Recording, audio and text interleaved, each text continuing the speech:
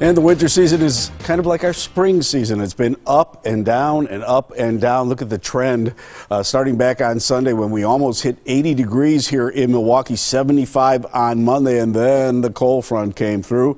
Uh, yesterday, 51 degrees. Today, it was right around 50. And now we're going back up and slowly going back up with 68 on Thursday. By Saturday, 67 degrees. And we're going to see that uh, rise in temperatures right on into the Memorial Day rest of the weekend into Monday. We might even see 70s on Memorial Day. Now, here's some good news.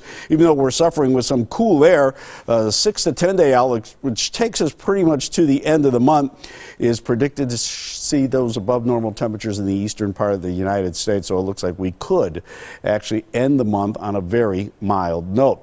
Uh, morning lows this morning were chilly 30 in Sheboygan, 33 in Fond du Lac. They did have some patchy frost in our northern counties, 34 Port Washington and also in West Bend, 34 in Waukesha with 37 degrees in Milwaukee and 37 in Racine. Uh, last night we had this battle of clouds versus clear skies, but if you were under the clear skies, you had a frosty morning. High temperatures today across the area. One more day of very cool temperatures and the cool air extending all the way out in the western part of the state. 52 in Madison. That is your high and where it was raining 46 in Platteville. Look at Cedar Rapids at 49, only 48 in Chicago, 50 here in Milwaukee. It was actually warmer in Superior where they had some sunshine and 66 degrees. Temperatures right now 48 in Waukesha. So if you're going out in the evening hours, your temperatures are going to remain on the cool side 45 in Port Washington, 52 in West Bend, and Sheboygan 55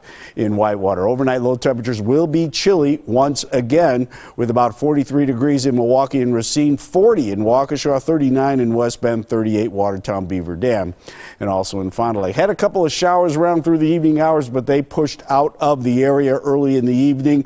But behind it, there's still lots of cloudiness. Some of those clouds starting to break up, though. We should see some clearing later on tonight, and that clearing will stick around right on into the morning hours. Our computer model shows the sky starting to break up overnight tonight, and the showers moving east with that low pressure system. Watch this front rolling at us for tomorrow, and by late in the day tomorrow, we're going to see that front pushing through, and that could touch off a few widely scattered showers around here, mainly in the evening hours uh, during the day tomorrow as the low pressure starts to push in for the rest of the weekend. For tonight, Incre uh, decreasing clouds, I should say, 38 inland, 43 in the city. For tomorrow, we'll see lots of sunshine, 68 degrees, warmer temperatures, 72 inland.